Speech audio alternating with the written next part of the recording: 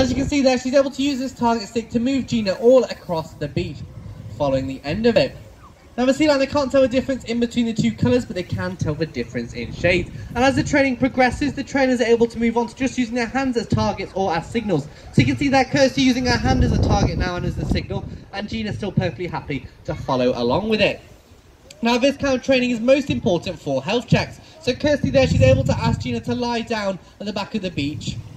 Now this will give Kirsty the really good opportunity to give Gina a nice thorough health check. So check her over for any lumps, bumps, scrapes or bruises. You can even ask Gina to roll over as well. Now this means they can do an ultra scan to check to see if she was pregnant without having to restrain her. As you can see there, Gina, she's perfectly happy to let Kirsty examine her because it's just part of their daily health check routine there. So it's not causing her any stress at all, which is really important. So how is Gina doing today, Kirsty? She's in perfect health, fantastic stuff.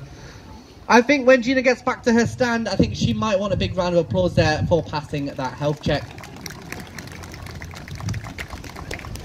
So here at the zoo as well, we want to encourage as many natural behaviours as we possibly can with our sea lions.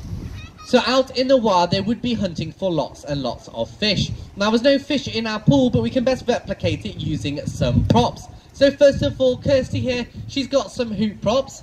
And because the sea lions have forward-facing eyes and binocular vision, it means they can judge speed and distance. So the speed and distance of the fish travelling around in the ocean, or in this case, the hoops travelling towards Gina there. So that means they can use their long, powerful, flexible neck there and catch those hoops just as if they were catching fish out in the wild. So a big round of applause there for Gina for showing us a fantastic eyesight there.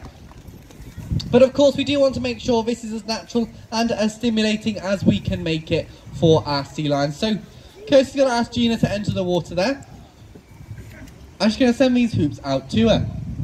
So this will give Gina a really good opportunity now to show you guys just how incredible her reflexes and her eyesight is. So she's able to judge where those hoops are going to land, which means she can use her fantastic agility there in the water to swim around and catch those hoops. So props like this are a really good way of making sure our sea lions are being kept physically and mentally stimulated. So a big round of applause there for Gina because she did a fantastic job showing us those incredible reflexes that she has.